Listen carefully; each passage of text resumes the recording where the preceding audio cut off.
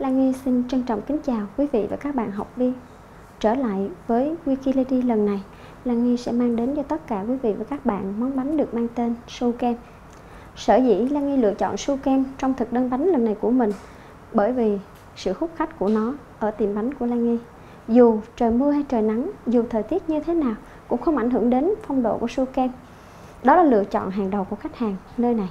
Hôm nay Lan Nghi sẽ giới thiệu tới tất cả quý vị và các bạn cách để làm vỏ su kem giòn, rỗng ruột sau khi vừa nướng xong và sẽ mềm, dai hơn khi cho vào ngăn mát của tủ lạnh. Nhân kem thì mềm, mịn và tay ngay đầu lưỡi. Ngoài ra, chúng ta còn được hướng dẫn cách để đề co một ổ bánh sinh nhật và có thể thích hợp dùng cho các buổi tiệc liên hoan, cưới hỏi hoặc là các buổi gặp mặt. Ngoài ra thì Nghi chia sẻ với các bạn một số kinh nghiệm để sử dụng cái lò nướng của mình làm sao cho chiếc bánh su kem được tròn, đẹp nhất có thể các bạn nhé.